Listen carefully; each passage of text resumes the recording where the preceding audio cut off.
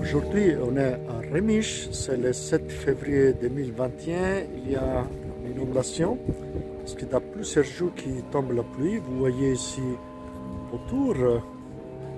Hein, et, ah, ici, on est habitué chaque année à ce euh, problème. On va voir un peu